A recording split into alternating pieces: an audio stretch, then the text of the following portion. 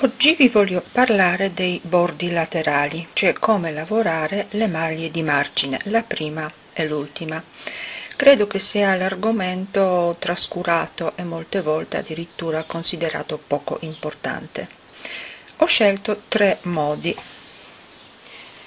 È un bordo, tre modi di lavorare. Un bordo a catenella, un bordo a nodini,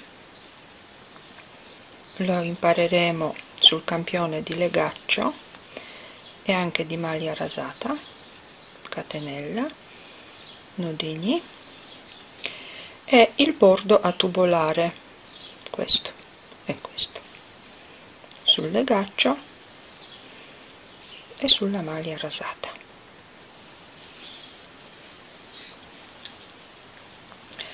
per farvi vedere come si lavora. Utilizzo questi ferri corti ma per una ragione sola perché è molto più comodo fare un video. Voi ovviamente potete utilizzare i ferri che utilizzate normalmente cioè lunghi oppure corti.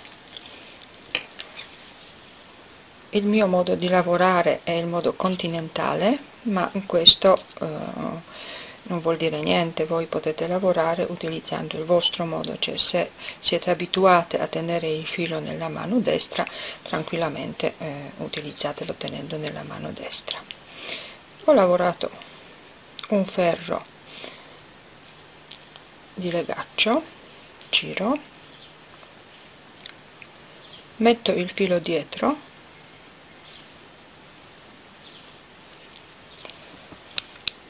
lavoro la prima maglia. Il legaccio si lavora sempre a diritto quindi continuo fino in fondo.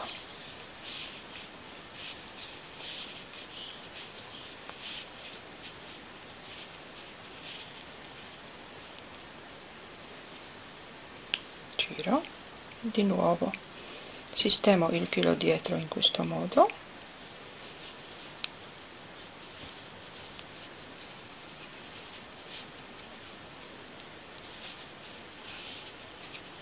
attenzione a non fare la maglia ritorta.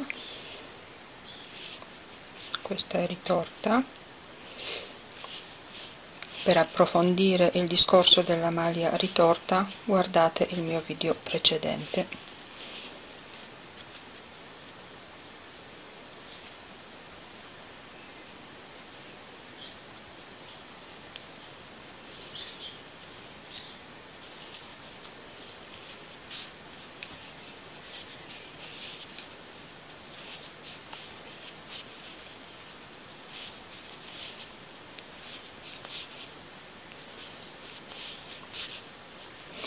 si crea il bordo a nodini